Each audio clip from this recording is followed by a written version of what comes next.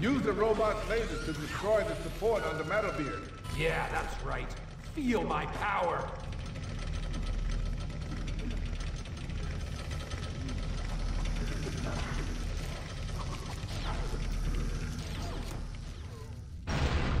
Benny, we could do with some lasers right about now.